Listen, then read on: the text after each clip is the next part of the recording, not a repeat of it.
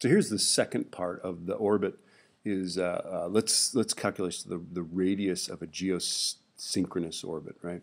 So geosynchronous satellites, those are the ones that are above the equator, and they uh, orbit in the direction the Earth rotates, and they have the same period as the Earth's period of rotation. And that makes them stay in the same spot in the sky. Of course, they're not sitting still, they're moving, and of course, so is the Earth. Right, they just happen to have the same period. And so the question is, how far are they? Right? Are they are they are they pretty close? Or are they pretty far away? Um, now, the time it takes the Earth to rotate once is 23 hours, 56 minutes, 4 seconds.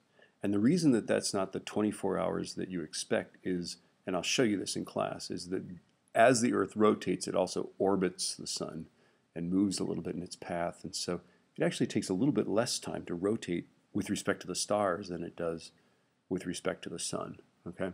So the period of this thing is 86,164 seconds is, is the actual time it takes the Earth to rotate with respect to the stars. There's the mass of the Earth. And then, of course, since we know the period of a geostationary orbit, we have to use this relationship with period in it. And we have to solve for r, which is the hardest thing to solve for in this case. So let me just show you how to do that, right? So we go mass of the satellite times 4 pi squared r over t squared, right?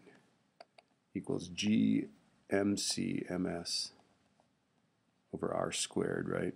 The first thing we do is we, we, we cancel out the satellite mass, right? Then we cross multiply. So we go 4 pi squared r times r squared is 4 pi squared r to the third, right? So these r's do not cancel. Everybody likes to cancel them, but they don't, right? And then that equals g mct squared, right? And then, of course, what I'm going to do is divide this by uh, 4 pi squared, right? And those go the way of the bison. And then how do you get rid of the r to the third? Well, you take the third root of this, right? Holy cow, right?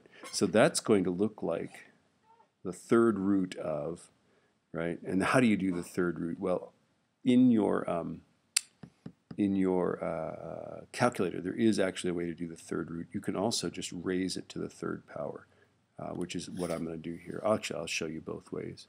Okay. But anyway, what this looks like is um, is uh, the third root of 6.67 times 10 to the minus 11th, right? Uh, times 5.97 times 10 to the 24th times, good golly, 86164. Don't forget to square that. Holy cow. The hardest part about this is, is figuring out how to type it into your calculator. Divided by 4 times pi squared, right? Okay.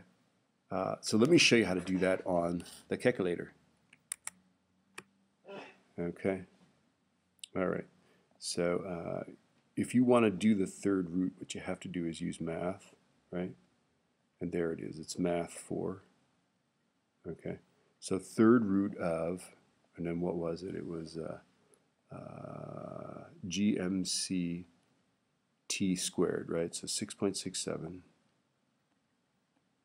I wish this thing wouldn't erase. Okay. Minus 11, right? Okay, times 5.97. E24, right?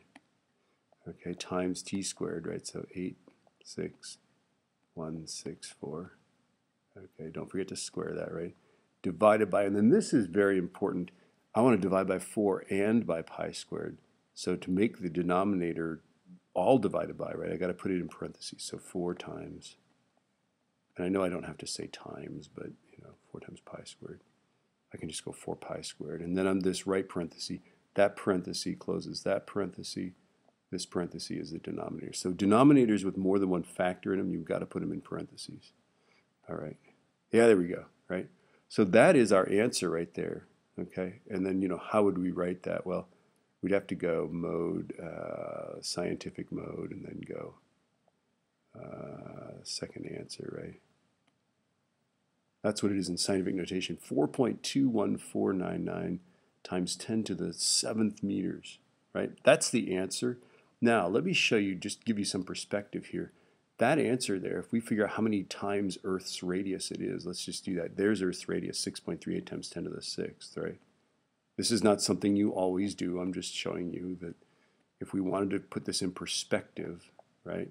If we found out how many Earth radii this was, it's actually 6.6 times Earth's radius. I'll show you this in class. That's way, way, way, way, way out there, right? So those satellites are very far away. That's why you need a parabolic dish to hit one of those satellites, okay?